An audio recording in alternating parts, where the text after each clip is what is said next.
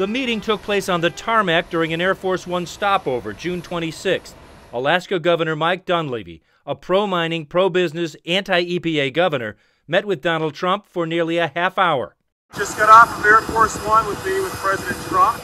Dunleavy has been pushing for approval of a massive gold and copper mine known as the Pebble Mine, planned for Alaska's Bristol Bay watershed, home to the breeding grounds for one of the world's largest and most pristine sockeye salmon fisheries. And after his meeting aboard Air Force One, Dunleavy said this about the president. He really believes in the opportunities here in Alaska, and he's doing everything he can to work with us on our mining concerns. Inside EPA sources now tell CNN the very next day, June 27th, top EPA officials in Washington held an internal video conference with Seattle and told the staff the EPA was removing a special protection for Bristol Bay and, in essence, clearing the way for what could be one of the largest open pit mines in the world.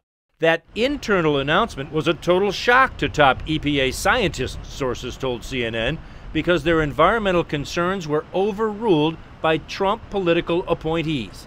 Bristol Bay and its tributaries are regarded as one of the world's most important salmon fisheries. Roughly half the world's sockeye salmon come from here. It's been protected since 2014, when after three years of study, the Obama era EPA used a rare provision of the Clean Water Act to basically veto any mining that could pose a threat.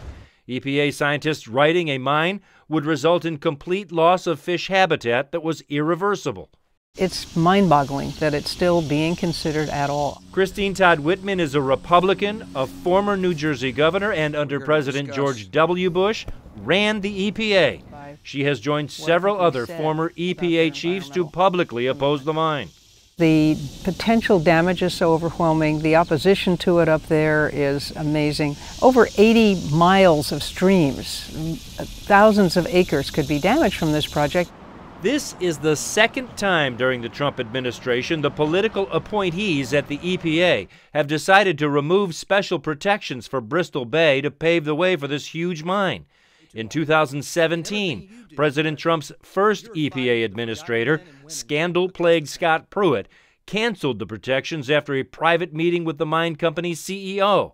After a CNN report exposed the meeting and the lack of scientific debate behind the reversal, Pruitt backed down and put the protections back in place. Now, another private meeting, this time with the president himself, has led to yet another win for the mine and removal of environmental protections for this pristine watershed. One of the most troubling things about this administration on the environmental side is this disregard of science. They're, they're gutting science across the agencies, across the departments, across the government. Even if scientists at the EPA are advising you, Mr. President, this is very dangerous to the environment, to the fisheries, to the state of Alaska. If the president decides, that's the decision? That's the decision. And the only recourse then is for environmental groups to sue? Environmental groups, Native Alaskans, you, will have a host of lawsuits, I am convinced. Alaska's Governor Mike Dunleavy, elected last fall, is a huge Trump supporter. He's met with President Trump multiple times sent this letter to the president asking for a long list of EPA reversals, including what he called the Clean Water 404 veto, a direct reference to Pebble Mine.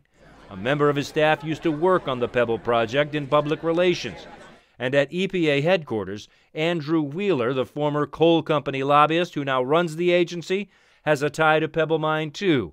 He has recused himself from decision making on the project because his former law firm represents the mine.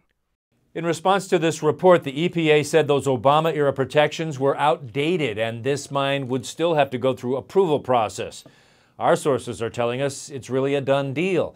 And when we asked the EPA about that internal meeting on June 27th, at first the EPA denied it even happened, but then we presented them with our evidence. They admitted the meeting took place, and our sources say that is when officials told scientists at the EPA the decision on Bristol Bay was made, and their work was not needed. Drew Griffin, CNN, Atlanta.